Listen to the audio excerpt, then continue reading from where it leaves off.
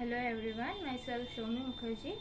I graduated from Birla Institute of Technology, Mesra, Ranchi, and currently I'm a student of NIPER Mohali in the Department of Pharmaceutical Technology, Process Chemistry. And uh, I consider it to be a privilege to be over here because I never thought that I'll be in front of the camera and my juniors will be listening to me. So, to begin with, uh, GPAT is an exam which all the pharma graduates aspire to give with a very uh, good rank which you need for your masters. So i feel that qualifying gpat is not the only criteria. You should always target for achieving a good rank. For that the first and the uh, most important subjects are pharmaceutics pharmacology and pharmaceutical chemistry. So pharmaceutics is a subject which is very easy to score because you can remember the things if you keep on revising them at a go.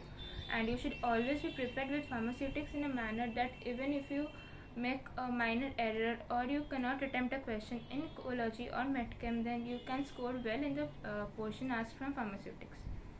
So lachman is the main book that you should refer for pharmaceutics. And the most important part is the industrial pharmacy syllabus from the fifth semester according to the uh, syllabus given by pci that includes uh, tablets capsules aerosols parenterals and uh, cosmetics the entire part of the ip syllabus in the fifth semester. And uh, you should always be thorough with all the tables given in lachman because they tend to give all the questions that are more or less there in lachman but uh, we tend to overlook them because we feel that reading the entire chapter or the entire book is not possible. So we go for notes that are available online or from the coaching classes. But i feel that you should always uh, go for your own handmade notes because a day or a week before the exam you cannot bring the entire entire lap man or केडिट्यू उठा के तुम नहीं पढ़ सकते हो क्योंकि वो पॉसिबल नहीं हो पाता है सो so, एक uh, थर्टी पेज का चैप्टर को you have to reduce to a three page का chapter and you can just revise the important point of the question as to the highlighted topics so for pharmaceutics you need to read black pen very well. And mainly all the tables given over there the examples that are given over there tablets and capsules are the major important part from pharmaceutics. Because every year you'll get one or the other question from tablets. Either the tablet defects or the tablet coatings or the soft gelatin hard gelatin capsules the minor details that are over there the preservatives used etc uh, next coming to aerosols parenterals and all uh, there are types of glasses. The minor details that are there you need to be very well revised with all of that because uh, yes you can't uh, lose even a single mark or like four marks for a question that is asked from pharmaceutics because uh, it's very easy to score you just need to re- like remember the points well. And it's entirely asked from Kedit I, I mean sorry from Lachman next uh, pharmacology for pharmacology uh, it is a subject that you need to memorize very well. It's uh, difficult to re- like remember so you need to revise it every day. Keep an hour for that like revise the classification every day in the morning because they give a, a single question from classification every year and uh, the thing is that when they give the four options they'll confuse you in such a way that you'll tend to make a mistake. So practice mcqs even if you read a single paragraph then practice any mcq available from that topic. I guess solving mcq is the only uh, funda that can help you to improve your rank.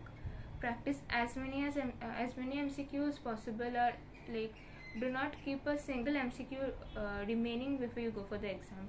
From any book anywhere any like wherever you get an mcq solve that. And uh, for pharmacology the most important topics are ans they ask a question every year from autonomic nervous system cardio um, cardiovascular cns uh, chemotherapy and uh, antimicrobials. Now for antimicrobials the questions are generally asked very easy because uh, the questions are generally uh, like directly asked from the mechanism of action of tetracyclines or chloramphenicol or uh, they keep repeating the questions asked from uh, antitubercular drugs either the side effects of the drugs or the like hepatotoxicity related to the drug or the antidotes for poisoning. And ethambutol rifampicin parentin uh, like these questions are very like they are the most important topics which they keep repeating every year.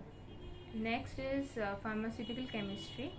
It's a subject that people tend to ignore because remembering medchem for gpat is not that easy.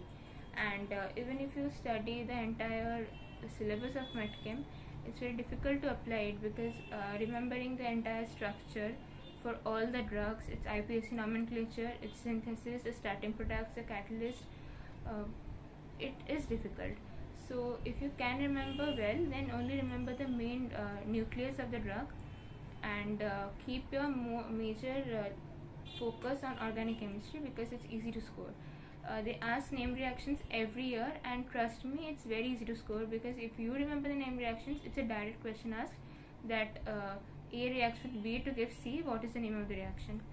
And um, that's it. And uh, other than that the entire plus two syllabus from organic that is uh, the SN1, SN2, E1, E2 reactions, the various carbocations, carbanions, and the GOC, that is the general organic chemistry, which we used to prepare for our JEE or NEET, the entire uh, plus 2 syllabus. And uh, the only thing that will help you is solving MCQs because I feel that uh, that was the only thing that helped to improve my rank.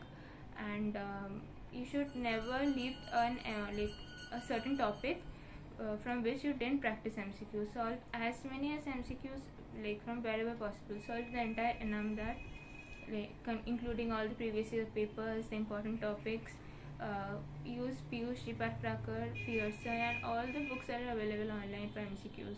Leave nothing or like no single topic from where you have not solved MCQs because personally I feel that uh, we all can uh, remember or study the topics but when we go for the questions we tend to make a mistake and जब uh, तुम घर पे solve करोगे तब लगेगा कि यार shit ये गलत हो गया but when you go for the exam then you remember कि हाँ ये उस टाइम गलत हुआ था तो हम दोबारा ये गलती नहीं करेंगे and uh, the advantage of CBT is uh, like on the first go you can attempt like you can mark a answer wrong.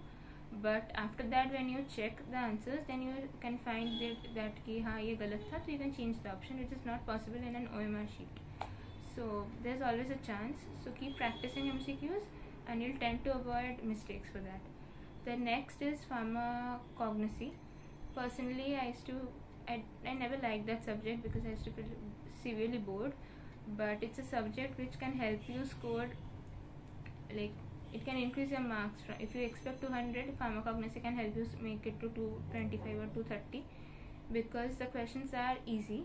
Uh, especially the chemical tests read the chemical tests very well. Even if you can't remember the microscopy of the like all the drugs or the family name and stuff but chemical tests are easy to rem- remember and they'll help you uh, to score the marks because they give normal uh, test to distinguish between the two samples and it's very easy to score they'll not ask minor details of the exact color that is formed or something it, it's actually NIPER, but for GPAT they'll ask the basic chemical tests and uh, also uh, what I felt was they'll never give you कि इसका family का नाम बताओ तुलसी का family क्या है या आंवला का fa- family क्या है they'll give you the chemical constituents of each drug if you refer to the GPAT 2021 paper the paper which we had given a few months back it had a questions from alkaloids and asked about the quinoline or isoquinoline constituent of the drug which I guess uh, majority of students would have made a mistake. Even I had made a mistake over there because I didn't read the question properly, and I had made a mistake. Now after that, uh, I could uh, like go back and check the answers. Then I realized that I had made a very big silly mistake, could rectify. For that, you need to go through the active chemical constituents of each drug very well, and. Uh, the next comes to the next I come to the minor subjects that is uh, microbiology, biochemistry, pharmaceutical jurisprudence, and um, NDDS like novel drug delivery system, biopharmaceutics. For uh, I uh, yes, uh, there's one more major subject that is physical pharmaceutics, and people uh, like I I personally felt that viscosity is the favorite topic asked by NTA every year they'll give a question from physical pharmaceutics which uh, comes from the topic of viscosity. Either the instruments like you need to remember the absurd uh, names of the instrument for measuring the different type of viscosity. And uh, the uh, various viscometers use the different types of fluids their examples and also certain num- numericals from martin you can refer the martin for physical pharmaceutics syllabus because um that covers the entire syllabus from physical pharmaceutics are questions that are asked in GPAT. For biochemistry and microbiology, please do not waste much time because the questions are not uh, like me. A few questions are asked, and you just need to remember the various tests for the various diseases, the enzymes, uh, carbohydrates, uh, proteins, vitamins, and fats.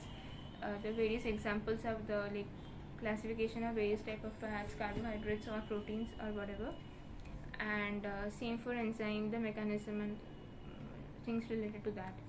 Uh, you should practice more MCQs from this topic so you'll understand what kind of questions are asked and you'll be like able to grip the subject. There's no requirement of revising biochemistry or microbiology each day. Uh, it's better to invest that time in chemistry or ecology or uh, or even cognosy. And there's one more important subject that is pharmaceutical analysis. So, uh, pharmaceutical analysis is a very interesting subject which I used to love.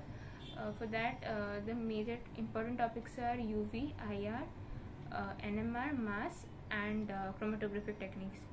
Now, for UV, IR, NMR, you need to remember the instrumentation and principle very well. The questions are generally easy. It's not that difficult. If you uh, like see the questions every year asked from analysis, it's more or less the concepts are same. The various instruments, their principles, the materials used, and uh, things related to this, and uh, certain calculations are asked from UV um, for NIPER, like after qualifying uh, GPAT, when you sit for NIPER exam, then there are more calculations and conceptual questions which are asked from analysis. But for GPAT, it's not that difficult. It's easy to score. And uh, other than that, I don't. Uh, for jurisprudence, read all the uh, laws and schedules and uh, notices, form numbers, and all. It's easy and uh, remember the uh, schedule a b c d and things those are very easy and you can get a question and you can attempt that and you'll get 4 marks for that so and each mark can uh, like change your rank plus minus 50 so huh, when i was there last year on the other side of the camera i was also equally nervous rather i was more nervous and i thought that हमसे नहीं हो पाएगा इतना कुछ but G PAT कोई rocket science नहीं है तो हो जाएगा and I wish that if you are put in your efforts correctly then next year you will be over here on this side of the camera I know juniors will be listening to you so all the best. Uh, study well revise the topics daily and practice as many mcqs possible from wherever you get them. Practice endless mcqs make your own handmade notes and keep on revising